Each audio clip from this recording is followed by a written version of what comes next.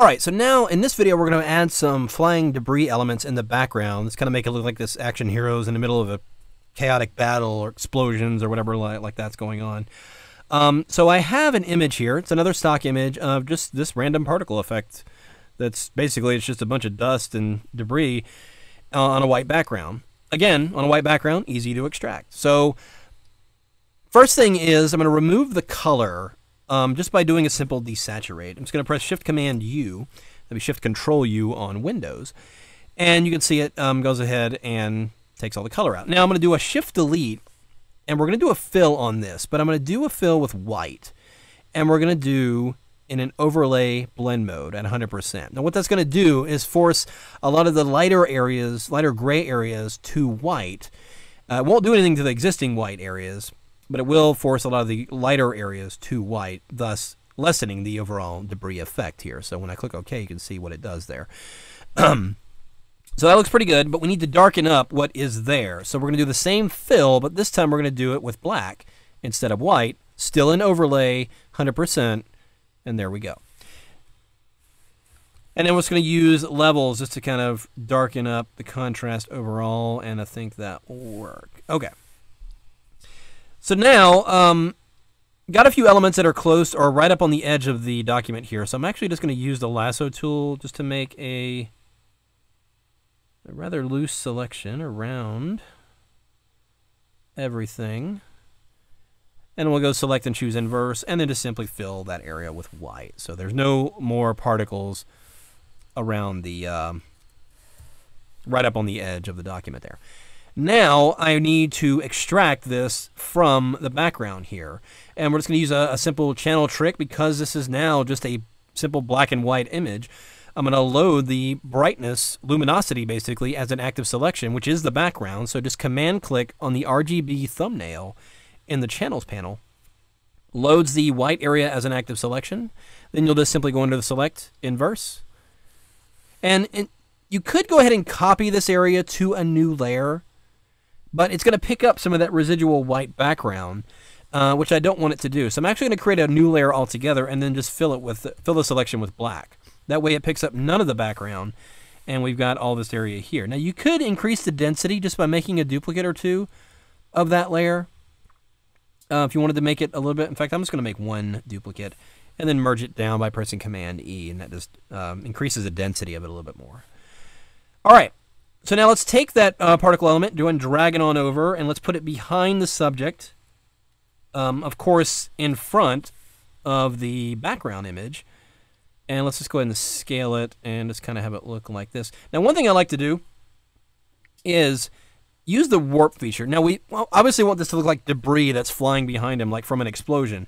So once I have it in position, I'm going to actually right-click on it or control-click and choose warp, and then just kind of push these elements out like this. Now, what warping does is it stretches the pixels of whatever you're um, warping here.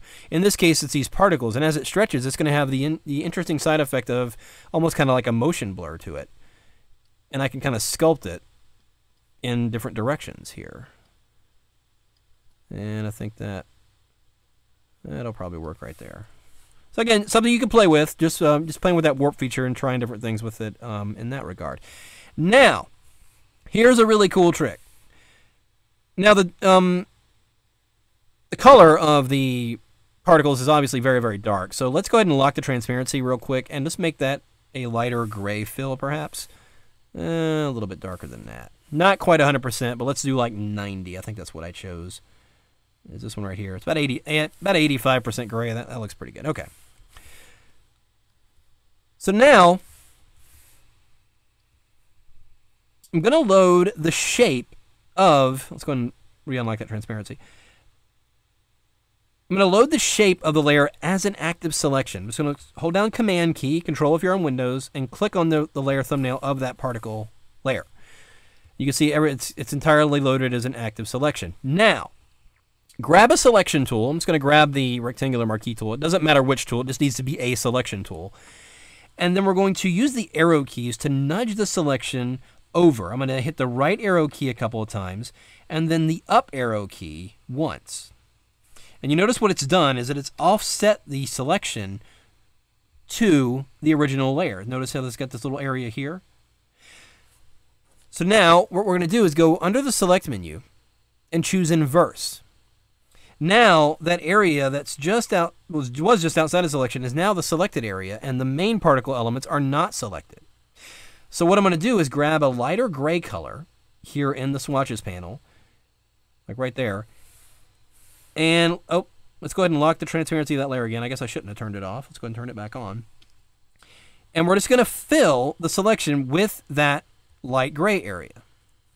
Well, let's actually go a little bit lighter there, that's something like that.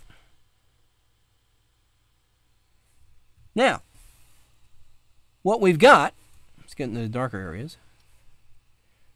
So you can see what it's done. So some areas it's going to be a little bit more prominent. So notice what it's done here. It's created this edge. So right there, that's before. I just undid it a couple of times. But if I go ahead and fill that area in, notice what it's done is it's given a little bit of dimension to those particles, like the light is coming from back here and thus gives those particles just a little bit of dimension to it. It's kind of a cool little trick there. Um, and I think ultimately I'm going to drop the layer opacity just a little bit more as well. Let's put that at around 90. And then one more thing we're going to do with the particles. Another cool trick. Go in the toolbar and go down here and where the blur tool is and, and choose the smudge tool. Now here I'm just using this kind of uh, um, scatter brush right here. But notice up here in the options bar, um, you can choose any brush you want, soft edge or scatter brush, something like that. I'm going to set the strength here to about 25%. 25, maybe, yeah, that's fine. Um, and I'm just going to go and paint on a few random particles and just smudge them. And that's going to give them a little bit of a motion blur to them. So not all the particles look static. We're just actually throwing a little bit of motion in here by throwing a little bit of a blur on them. Just like that. Eh, my transparency is locked. That's why I'm not getting the full effect here. There we go. Okay.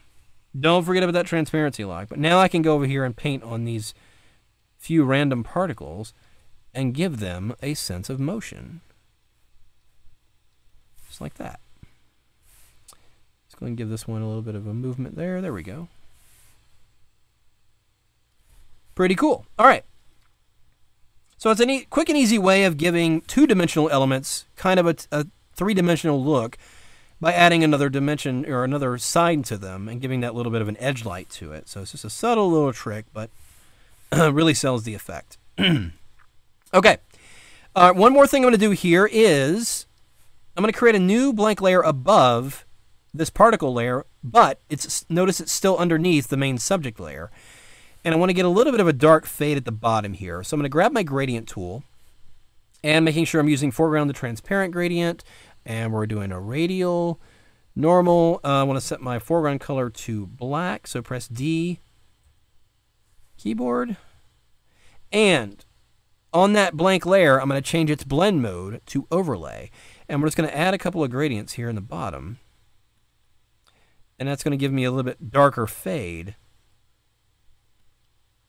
just to kind of help, you know, help the subject stand out a little bit more on that background there. So that looks pretty good. All right.